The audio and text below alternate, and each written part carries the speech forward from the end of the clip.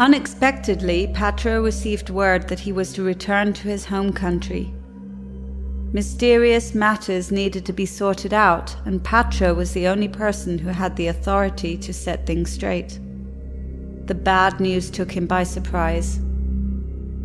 Initially, he considered taking his daughter along, but the journey would not be without danger. Things were risky. Relying on the company of teachers and scientists whom he had brought together around his daughter, he decided not to take her with him. Meanwhile, Condamnita was becoming increasingly impressed with the stories about Sifo, the amazing inventor and researcher. Her empathy and compassion grew as she longed to meet this young man. One day, the talkative physicist proposed that they venture out of the house. He would arrange a meeting with Sifo. Nervously, Condamnita consented to this. She had never left the building and didn't want to cause her father any distress. The physicist convinced her that Patro never forbade her to leave the house. He had simply never opened the door for her. Patro would certainly have no objection to her meeting Sifo. The young man was, after all, no stranger. With tense anticipation, she watched her teacher open the front door. Now she would be faced with that big unknown world that had always remained beyond her limited field of vision. The meeting with Sifo was indescribable. It was as if the two souls became one. They spoke with each other for hours, then days and nights. Sifo liberated her from her isolation and allowed her to see life's magnificence from all sorts of perspectives beautiful, ugly, harsh, and relentless. With pain in her heart, she understood the love that Patro had given her.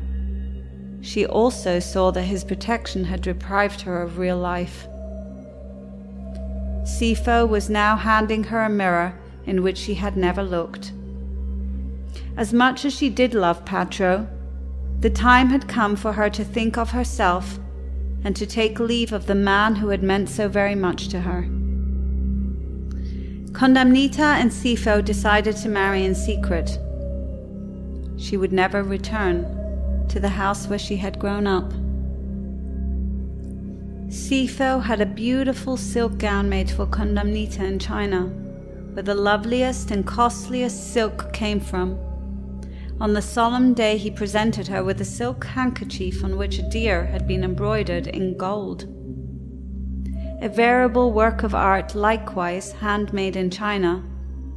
The deer was carried out with so much detail that one kept on discovering more mysteries in it each time one looked at it. If one looked at it long enough, it was possible to make out figures on its back. The antlers displayed mysterious shapes as well. Anyone could spend hours looking at the deer discovering something new each time as mysteries were unveiled in the process. Every aspect offered a new approach to a story. Condamnita would always keep the handkerchief with her. It was her most prized possession. The highly refined deer symbolized her husband's love, a symbol of longevity, happiness, peace, and harmony.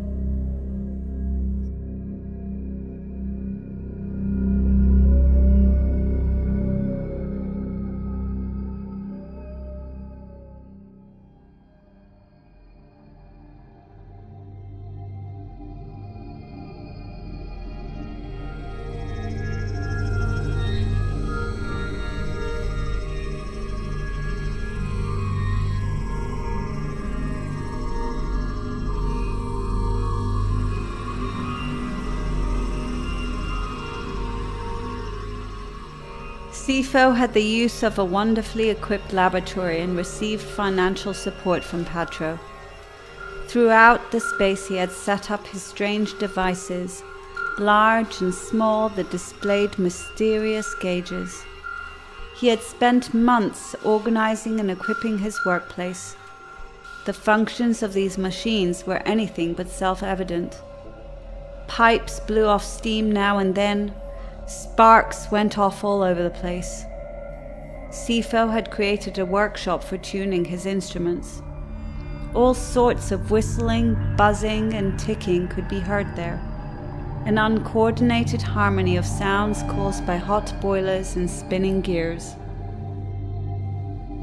Diabloso Plori had been hired by Patro to assist in the laboratory.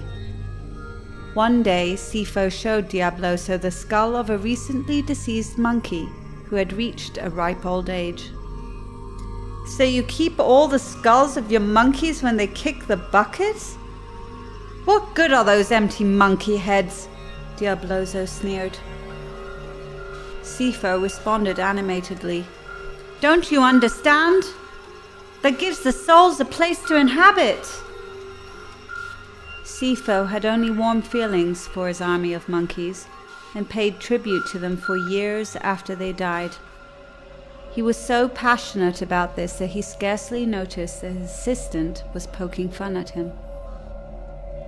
Diabloso sniggered and walked off, muttering, Dead is dead.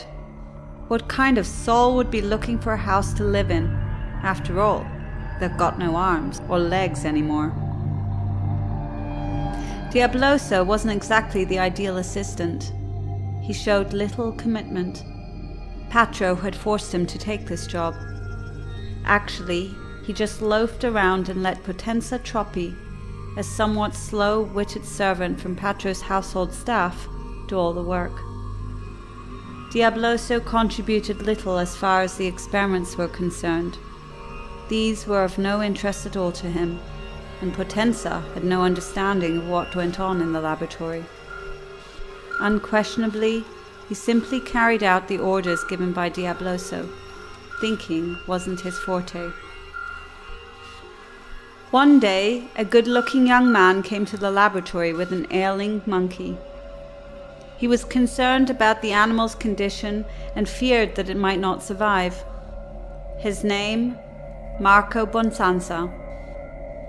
Sifo attended to the sick creature, and Marco proved to be very helpful in the process. Diabloso had taken off, leaving the mess to Potenza, who had no idea what to do. Marco, who genuinely loved animals, seemed to speak their language. Impressed by this considerate behavior, Sifo suggested that he come and work with him. The next day, he hired Marco as his personal assistant and Diabloso was made responsible for keeping the laboratory clean. Marco was richly rewarded with a salary that amounted to nearly twice that given to Diabloso for his services.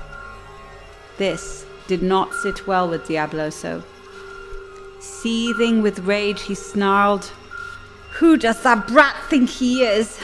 Just wait, I'll teach him a lesson or two. My friends, I must say that events when seen from a distance often seem futile or irrelevant. Gazing, analyzing, and calculating from one universe to another, I initially regarded Diabloso's jealous anger as that of a spoiled child not getting his way.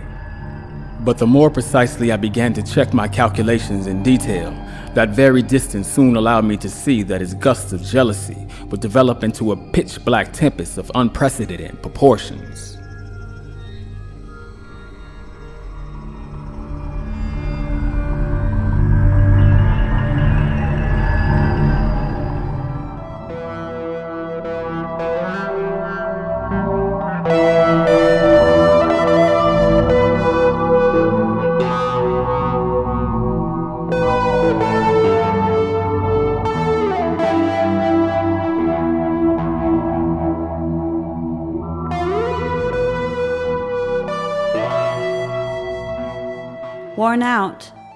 Patro returned from the trip to his home country, where political upheaval reigned.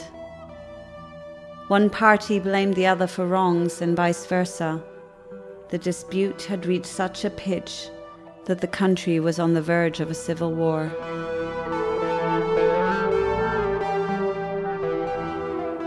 Patro called for a meeting of the two groups' leaders and explained to them that there was no such thing as extremes.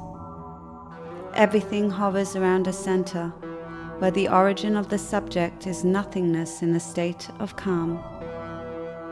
At that point of balance, there are no differences. Due to outlooks on life and experience, some lean towards the right and others more to the left.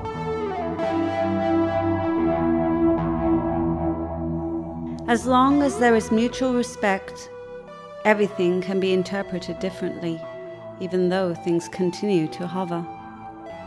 That keeps life interesting. After all, the subject has one and the same source.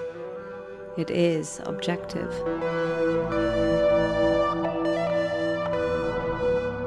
But when someone adds his emotions and ideas to this, that balance immediately shifts. This easily gives rise to misunderstandings, which can then get out of hand. Everyone starts making points to more extreme terms, and ultimately the groups are so far removed from each other that unity seems impossible.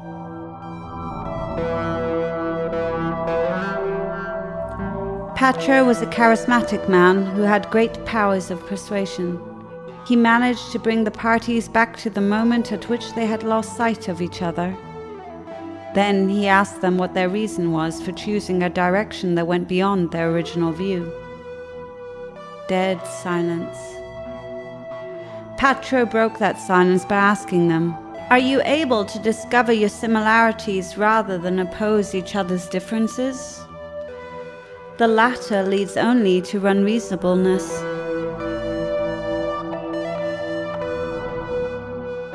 Patro's wise words had led to peace in his country. He had managed to unite his people. Difficulties were resolved, conflicts settled. He did not take sides, on the contrary. Through the application of simple logic, he merely unraveled the mysteries that had led to misunderstandings.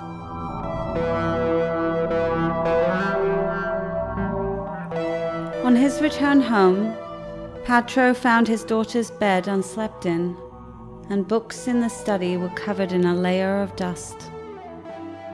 Since he left a month ago, Condamnita had not been there. His staff informed him that they hadn't seen Condamnita since his departure. Emotions got the better of him betrayal, deception, lies, that thankless child. He was a master of objective observation, but, as often happens among highly skilled statesmen, on being personally affected by fate, any form of logic goes down the drain in a storm of uncontrollable thoughts. Reason makes strange moves. Patro tormented himself with aimless mood swings. He sent for Diabloso, his trusted servant. Diabloso explained that youths reach an age when they develop a curiosity about their environment and the opposite sex. You've always wanted to protect her. Let her go. She's a grown up woman now. You've given her the best upbringing, lessons in life, and a solid education. I've heard that she's secretly married to Sifo, a desirable match. An inventor whom you support because of his creations that serve humanity. Perhaps it comes across as a betrayal that they've married in secret. Ah, my dear Patro, they're young and in love and make impulsive decisions. You were away for an indefinite period with all the dangers in your country, it wasn't even certain that you would return safely from this dangerous mission. After all, that's why you left your daughter at home. Patro lost his patience. Let Sifo prove that he's worthy of my daughter. He demanded that Sifo throw a knife to split an apple on Condamnita's head. Diabloso sniggered to himself at the thought. He had Patro precisely where he wanted him. Actually, dear friends, the encounter was held in an architectonic astrological structure built centuries ago by my uncle, Rai Putsawa. Sifo had little desire to prove himself. What a senseless contest. But as he happened to be a master knife thrower, he split the apple in one throw without hurting Condamnita. Patro could hardly accept his defeat. A woman who marries in secret can never be trusted.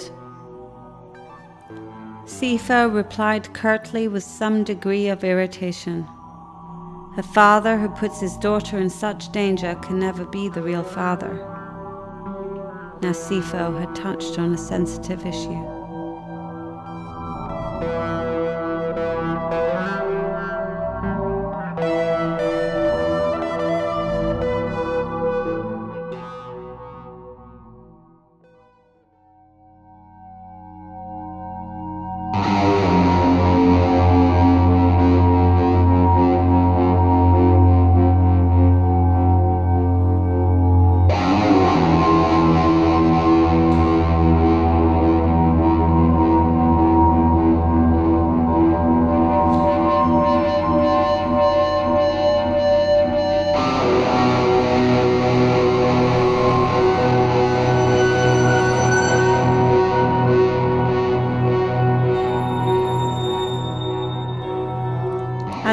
Things hadn't been bad enough. That remark about his not being a real father had really rankled Patro.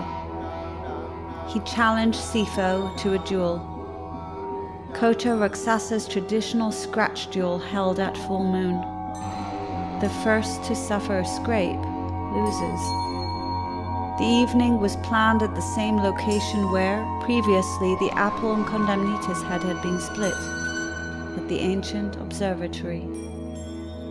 Condamnita knew nothing about this duel. Her maid, Laborista Respondia, was the sole witness and wanted to be certain that the man to man fight ended well. The full moon was bright and big. Sifo danced about until its light blinded Patro. In a single stroke, he wounded Patro with a razor sharp knife and gorged a cut into his chest right next to his heart.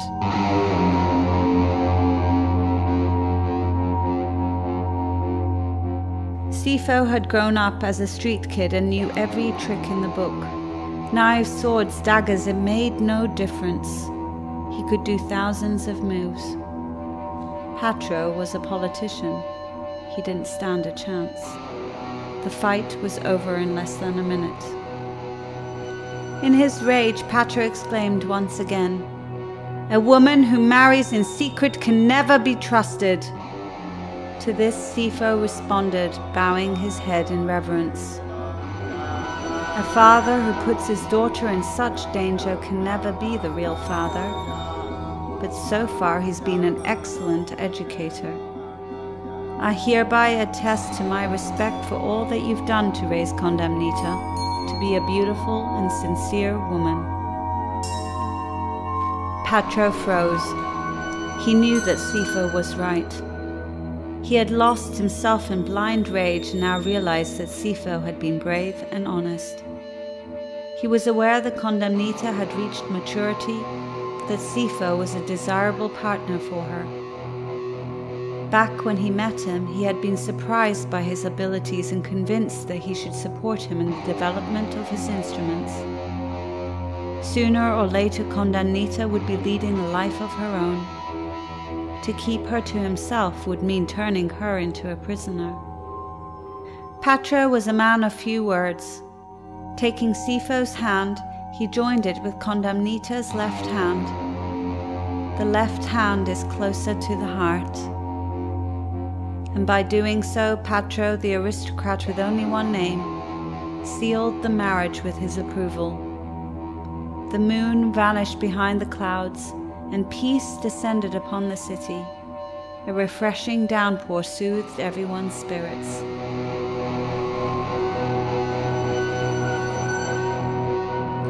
Meanwhile, Diabloso had heard of the victory by which Sifo had won Patro's confidence. This was not at all what he had in mind. He had to come up with another crafty plan. He knew that Potenza Trompi, the dwaddling servant from Patro's staff, had always had an eye for Condamnita and could thus be very useful in his double crossing dealings. Trompi would be generously rewarded for his services and ultimately guaranteed Condamnita's hand in marriage. After all, Trompi could easily be deceived and couldn't notice what he was being used for, nor would he even realize the impossibility of such promises. His less than keen sense of reality would make him all too easy to manipulate. In his attempts to achieve a highly unrealistic goal, he would make the biggest blunders.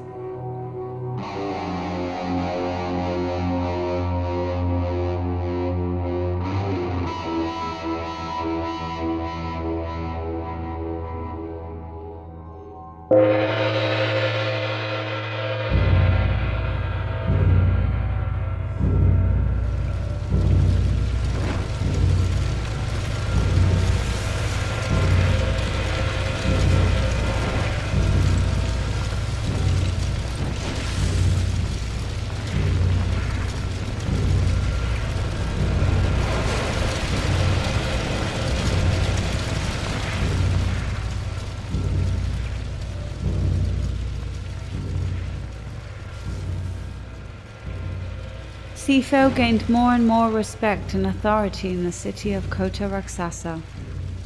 With his instruments, he not only healed monkeys, he also saw to it that people in poor health came to have a better life. Pain and physical ailments disappeared, and in the process, mental insecurities diminished as well. People who had long ago given up on themselves were coming back to life again they referred to Sifo as the dragon, the symbol of power, strength, and happiness in Chinese mythology. Sifo carefully selected the people whom he wished to support. His supply of devices was still limited. Although production had increased, he was not able to keep up with the demand. Stories about the magical effects of his devices spread quickly, and growing numbers of people wanted to have such a clever gadget. Some of them weren't even sick. They presumed this thing would guarantee them of eternal youth. That's how it goes when an invention becomes popular. The tales about it surpass the reality. One night, Sifo had a dream about a serpent like dragon going up in flames. It was the Naga, which warded off evil spirits and guarded sacred relics. Sifo felt it was an ominous image and wondered what it could mean. His healing devices were sacred to him, and the results that he achieved with them were famous among the local inhabitants. He feared that his dream was a sign of adversity that might affect him or the entire city. Fear is a bad counselor. Distress about what could happen is often greater than what actually does happen. Sifo's activities suffered as a result. His achievements continued to be amazing. His love for his wife grew by the day. They were happy and lived in a beautiful house. Many workers were now employed at the laboratory and countless instruments were being produced. The devices became increasingly refined and achieved better and better results among people who previously had no chances whatsoever. But that vision of the blazing Naga being totally destroyed, he couldn't get out of his mind. He never talked to anyone about it. Even Condamnita was unaware of his concern. Presuming the pressures at work were getting to him, she advised him to rely more on his lab assistants, to delegate more responsibilities. Indeed, they had already proven their expertise some time ago. A few of them were so inventive that they had markedly improved certain details. Diabloso, too, detected Sifo's restlessness. Just prior to this, he had visited a malicious alchemist, requesting that he sow doubt and confusion in the heart of ever confident Sifo.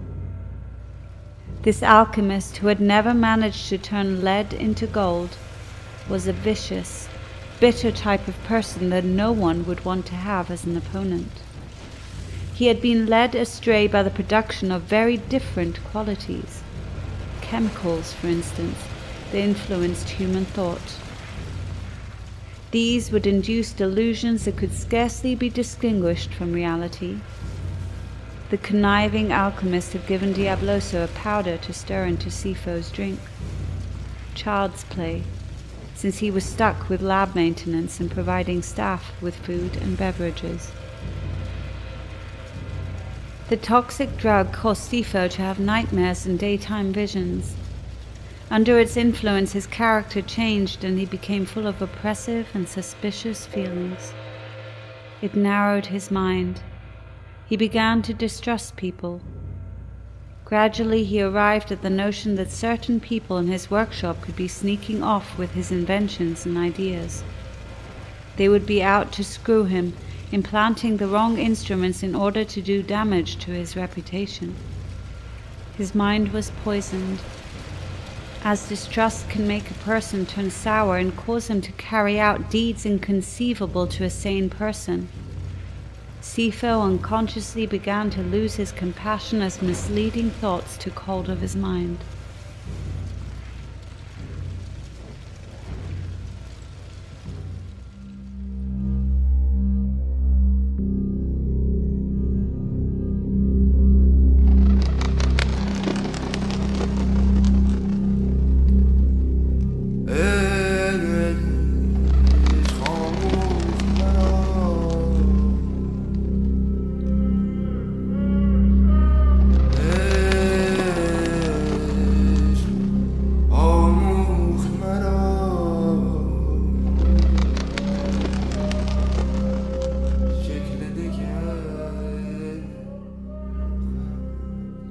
I gazed at the stars and watched all that went on in the second universe, I began to worry about the course of this history, the love story that I had worked out from the position of the stars.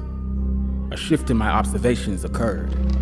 Just when an event took place in the distant future, I immediately began to figure its consequences. That wasn't at all reassuring. It was time to risk a leap into eternity. Now, my friends, it becomes really confusing as to where I was and at what point in time. The tale moved me, and I became more and more involved in it.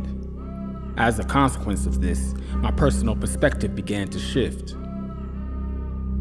As the sun set, it cast a magical light across the most sacred temples in the city's vicinity. One of the most exceptional and gifted souls among my ranks of my helpers stood completely motionless in the sanctuary, he possessed the ability to anticipate events before they took place. Frequently, he spent the time meditating in the grounds of this consecrated temple. His body would grow rigid when he sensed that something terrible would soon happen. Not moving a muscle, he seemed literally, his eyes, mouth, limbs, to become as stony as the temple. At daybreak, I found him in that state. Something was definitely wrong since any attempt to rouse him failed. A thorough investigation had to be carried out. A battle might need to be fought.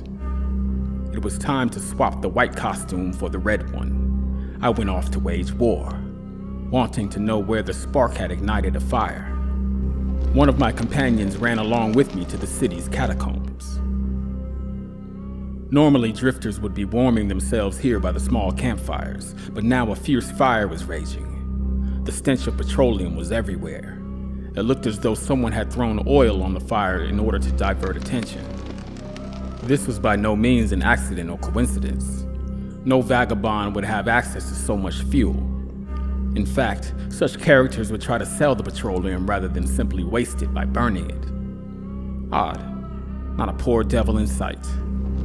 Usually they came shuffling in around this time of day, getting their little fires going again in those oil drums and warming up leftovers, most often things they had found on the street or fished out of garbage cans. But now there was nobody, and the oil drums were gone. All was ablaze, an inferno. No drifter would dare set foot in this place. I couldn't fathom it. Did someone want to chase the vagabonds away? A small opening had an iron gate across it. There, too, flames broke out. The gate was bolted tight. Its steel lock nearly melted away from the heat of the inferno. To what did the passageway lead?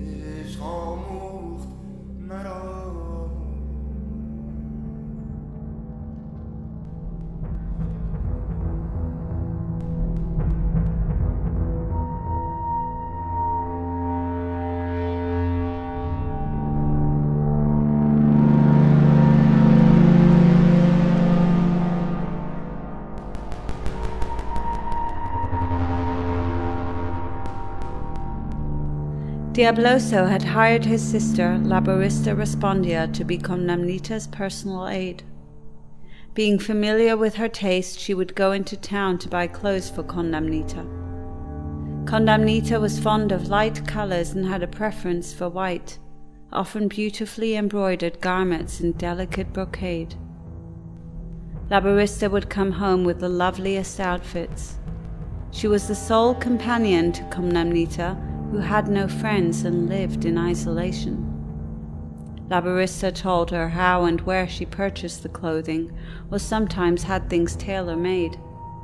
She showed her just how precisely the tailors did their work, how they would feel the fabric and imagine how it would feel on the slender woman's body. Condamnita was all ears. It was like listening to a fairy tale about a far away land. La Barista was completely loyal to her mistress. She had no idea, however, about her brother's jealousy and evil intentions. They had grown up together and had shared all of their secrets ever since they were children, and so she had told Diabloso more about Condamnita's private life than was permitted. Diabloso maliciously took advantage of this and made her tell him things that he was not supposed to know. This gave him the power to manipulate things. She had confided in Diabloso that Sifo had given his wife during their wedding ceremony a precious handkerchief on which a beautiful deer was embroidered in gold. Diabloso begged his sister to show it to him. He was a great admirer of art and craftsmanship. It was, after all, no coincidence that Patro had made him responsible for the management of Sifo's laboratory. My dear brother, that's impossible. She carries the handkerchief with her constantly and places it beneath her pillow at bedtime. When she's sleeping, she won't notice if you carefully remove the handkerchief from under the pillow. After some degree of hesitation, La Barista consented. Little did she know that her brother was scheming to bring about Sifo's demise. That evening she helped Condamnita with her nightgown, combed her beautiful long hair, brought her a glass of water, fluffed up the pillows, and tenderly tucked her in. With the last movement, she managed to filch the handkerchief and hide it away in her pocket. Blowing out the candles, she then left the room.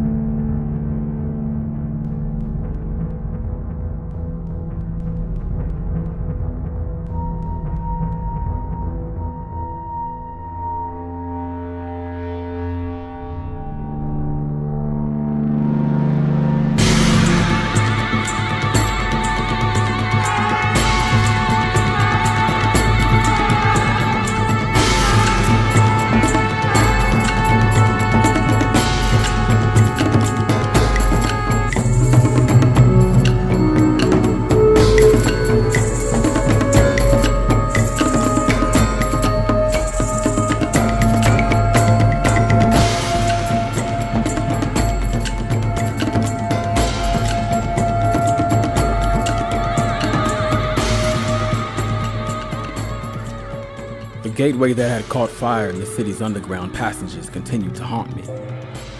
I had to know what lay beyond it. I summoned my crew and had them put out the fire. Then my magical powers, powers that I developed while calculating time, were put to use. I had become a shadow in time.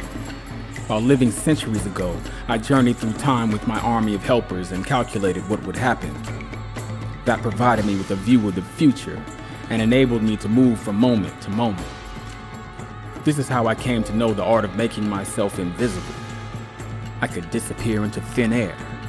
No door could stop me. Apparently, I could walk through walls. What was happening gave me an odd feeling, as though I had gone missing or lost my place in time. Having found my way to the municipal archives, I studied the maps of the city. Despite my thorough search of the records, I came up with nothing. While everything about the underground environment had been indicated, not a single drawing showed the gateway. This baffled me. The gateway did indeed exist. Why, at that very moment, had the fire taken place around that mysterious entrance? Had someone wanted to conceal something? Or worse, camouflage it? Suddenly, I recalled a vision of a woman in a cave and sensing that I had to protect her from any evil that might befall her. The fire stirred that thought in my mind. Concentrating, I went back to the time when the city was being built. Gradually, the interest came into focus. It led to the space which now happened to be Sifo's laboratory. I moved a bit forward in time and saw how years before, Diabloso had hidden this passage in municipal records. It was a secret passage or a concealed exit. Something fishy in any case. So why had that fire broken out then of all times? Were visitors not wanted in the vicinity of that gateway? Was secret information being smuggled out of the laboratory via this passage?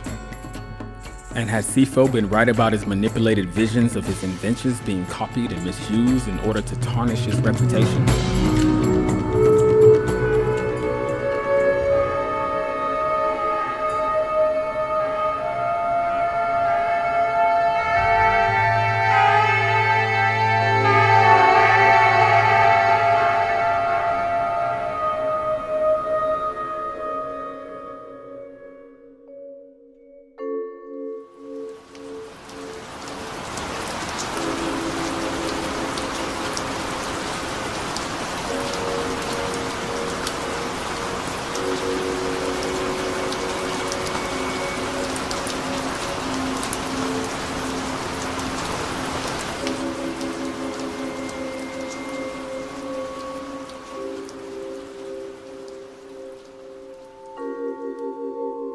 One day Diabloso went to visit Paula Justa Desolaron, just the person for his crafty plan. Paula was a charming woman with narcissistic traits. Any attention she could get enchanted her. Not that she had any empathy for those who showed an interest in her. She could assume various guises sexy, defiant, intellectual, entertaining a lady with style and a sense of formality, but also a playful and bubbly tramp. Her appearance on the stage of life took many forms as her guises adapted fluidly to any new situation. Able to wind any fellow around her little finger, she manipulated, seduced, lied, and told half truths. Long before dumping one, she had lined up another nor did that one last long. Paula devoured men, and because fear of attachment and fear of abandonment often go hand in hand, Paula would leave men before they would leave her, one after the other, having no qualms whatsoever, not an ounce of loyalty. As the numbers of lovers that she left in despair grew over the years, so did her loneliness. True love she had never known or acknowledged. She was merciless, tough and heartless, crude and insulting. Paula could not be trusted. She was made for Diabloso's scheme. Diabloso at work in his office had assigned Potenza the task of solving a number of pointless problems. Had Potenza possessed any sort of intelligence, he would have instantly understood that this was a sheer waste of time. Diabloso had invited Pala with the aim of introducing her to his most brilliant assistant. Hey, Pota, you've got to practice a bit before you start anything with Condamnita. Pala blew him a kiss and swayed her hips seductively. Far from being a Casanova, Potenza lost himself in shyness and uncertainty. But his heart was racing. Overcome with passion on seeing this temptress, he had no idea what to do. His desire surpassed his timidity. Come on, big guy! This is the chance of a lifetime, Diabloso sniggered. Look how she's rocking those hips. Could she be any more obvious? Get a move on, fella. Practice makes perfect. How do you expect to get anywhere with Condamnita if you can't even handle this? Diabloso gave him a shove and Potenza landed in the arms of Pala, who then smacked a kiss right on his mouth. From there, it's easy to guess what happened.